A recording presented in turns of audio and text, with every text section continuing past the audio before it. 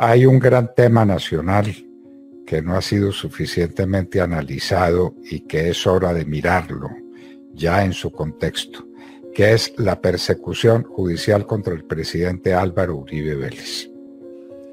Eso, eso es una cosa sencillamente absurda. Primero, primero, ¿de qué diablos están acusando al presidente Álvaro Uribe Vélez? ¿Cuál Recordemos cómo arrancó, recordemos cómo arrancó, doctor Fernando. Arrancó con el presidente denunciando a Cepeda. En, arranca con, ese episodio y el 16 de febrero del 2018, la Corte Suprema de Justicia archiva la denuncia que el entonces eh, senador Álvaro Uribe Vélez había hecho en contra de Iván Cepeda y en ese mismo momento, mientras archivaba el asunto de Iván Cepeda, abría y compulsaba copias inmediatamente para abrir la investigación al expresidente Álvaro Uribe Vélez por falsos testigos. Era la misma denuncia que había hecho él en contra de Cepeda, pero esta vez de parte de la Corte de oficio, además, poniendo a Cepeda como víctima y al expresidente Uribe como el instigador o el que buscaba los falsos testigos para señalar a su contradictor político. Ahí arranca esto. ¿Y quiénes son los falsos testigos que ha tratado de conseguir Álvaro Uribe? ¿Y por qué medios?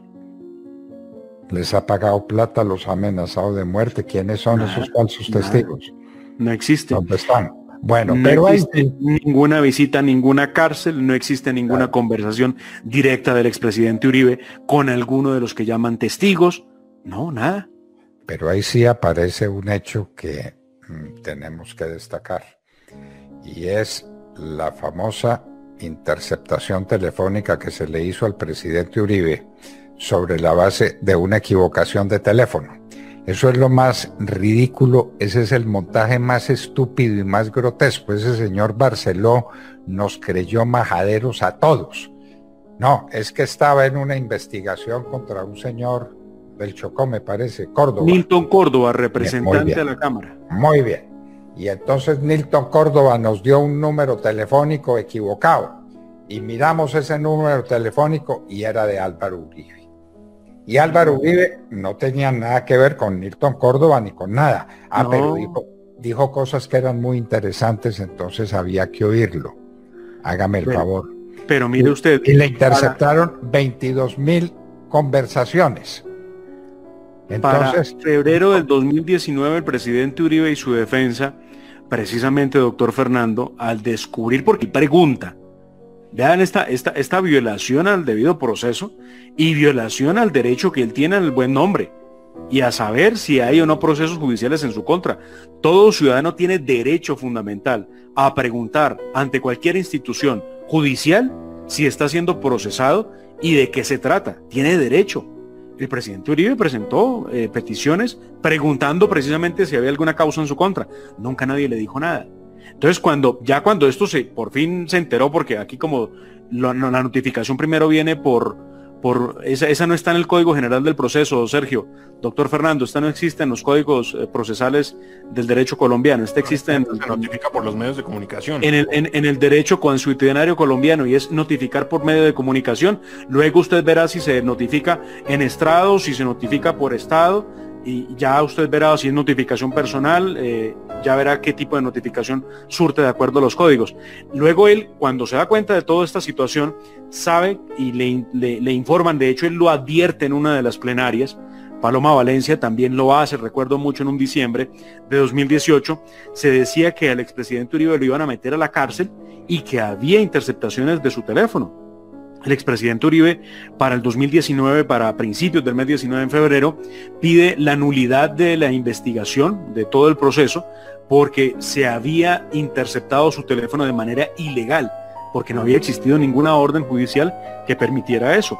Y fue donde apareció el doctor Barstow a tratar de explicar que si era legal, que había una orden judicial que decía que había que interceptar el teléfono de Milton Córdoba lo que no dice el señor Barceló es que la orden, cuando llegó a manos de investigador, que ya compareció ante la fiscalía, él casi que inmediatamente, lo dijo el investigador en, el proceso, no había pasado una semana y él llevó en documentos y habló personalmente y dijo, perdónenme, pero esta no es la línea de quien me ha dicho, debo hacer seguimiento. Esta línea corresponde al señor Álvaro Uribe Vélez.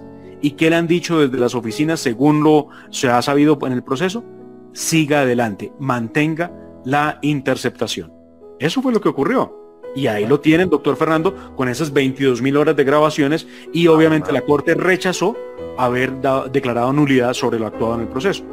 Además entiendo que eh, la primera frase de la primera llamada interceptada, según lo ha publicado algún medio de comunicación, y eh, presento mis excusas al medio por no citarlo correctamente porque no recuerdo en este momento cuál fue el medio que... Semana. Semana fue la que reveló el testimonio del, investigador.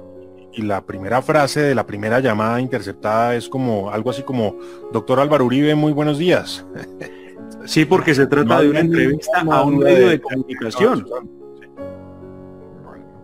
Entonces Álvaro Uribe fue interceptado y sobre la base de esas interceptaciones lo metieron a la cárcel. Cárcel, cárcel, cárcel física para Álvaro Uribe Vélez. Sobre la base de unas interceptaciones ilegales que no decían nada. Ustedes se imaginan el escándalo que hubieran hecho estos magistrados donde Álvaro Uribe en esas 22 mil comunicaciones hubiera dicho alguna cosa ilícita? vaya y compre un testigo o páguele una plata de ese tipo, alguna cosa, alguna cosa, cero, ninguna, nada, nada. y entonces cuentan, cuentan un cuento, montan un cuento y sobre la base de ese cuento, además un cuento mal contado, meten a Álvaro Uribe Vélez a la cárcel. Ojo, pero, ¿quién lo mete a la cárcel, doctor Fernando? Ojo. responsabilidad penal o no? ¿Ah? Eh, tiene que haberla, Sergio, pero ojo con esto es que el país, eh, ¿qué, qué cosa con la memoria de los colombianos, ¿no? Memoria selectiva por, de, por demás. ¿Recuerdan ustedes el magistrado que tuvo que ver con el proceso del presidente Uribe? ¿Este proceso? No estoy hablando de Barcelona. Reyes. Sí, señor, claro. Estoy hablando del magistrado Reyes, de quien no se volvió a saber nada en este país, pero que nada más y nada menos fue un hombre que tuvo contraticos con Sergio Jaramillo, comisionado de paz, en el gobierno de Juan Manuel Santos. Entonces, todos se preguntaban, ¿era posible o por lo menos no tenía que haberse declarado impedido el doctor Reyes de seguir una investigación en contra del expresidente Álvaro Uribe Vélez, quien abiertamente ha sido atacado, hostigado y es enemigo público de Juan Manuel Santos y del gobierno de él? Pero, ¿qué, podemos esperar, ¿qué, podemos esperar, Y, les pregunto a ustedes que pues eh, se lo han pateado entero.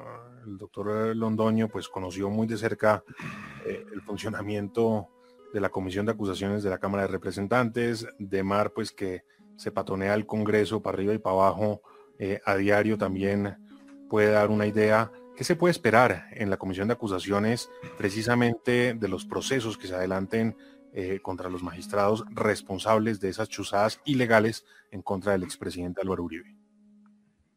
No va a pasar nada no va a pasar nada. Como no pasa nada, esa comisión la llaman la comisión de absoluciones, aunque hizo una cosita con un magistrado, con el magistrado malo, ¿no es cierto? Sí, sí, señor, sí. El magistrado malo lo tienen en la cárcel. Sí, señor. Y hace, ¿hace cuánto? Hace un mes largo, mes y medio, la comisión por fin presentó el escrito de acusación contra eh, Bustos, José Leonidas Bustos, proceso que lleva más de un año quieto. Bustos a propósito, prófugo en Canadá, en Ottawa. Claro, feliz, feliz en Canadá.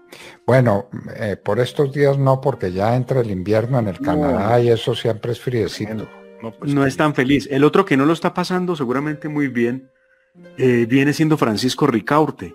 El proceso sí se movió a final de, este año, doctor Fernando, a mediados de diciembre se movió ese proceso, porque apareció, llamaron para que compareciera más bien, la secretaria privada de Luis Gustavo Moreno, ¿recuerdan?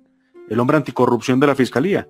A ella la llamaron para preguntarle qué había sido, si ella sabía del dinero que se dice recibió Luis Gustavo Moreno de manos de Musa Besaile. Yo no sé, algunos hablan de 600 millones de pesos, otros hablan de mucho más dinero. eh, y para tratar de entender si ese dinero llegó a las manos, inclusive del mismo doctor Ricaurte, quien fuera presidente de la Corte Suprema de Justicia, involucrado en el cartel de la toga, del que pues poco se sabe, pero que Luis Gustavo Moreno, ojo, que pidió que por favor lo sacaran de la cárcel y lo llevaran a una unidad militar porque lo van a matar en la cárcel. Eso es lo que se sabe, que tiene amenazas. Eh, dijo que iba a terminar y que tenía que hablar de los nombres de los otros magistrados que nadie ha hablado y de otros políticos que saben qué era el cartel de la toga. Otros que evidentemente no sabemos quiénes son. Así que el proceso va a crecer más, eh, pero tampoco digamos que la Corte, perdón, que la Comisión de Acusaciones ha sido muy rápida en esclarecer. No, no, no, no, la verdad es que no. No camina, Sergio. Nadie, creo que todos en el país sabemos que no funciona. Para lo único que caminó la Corte fue para encarcelar a Álvaro Uribe Vélez. Eso es un escándalo mundial. Álvaro Uribe fue el mejor presidente de Colombia en 200 años. Álvaro Uribe Vélez no tiene tacha ninguna, ni en su vida personal, ni en su vida pública, nada.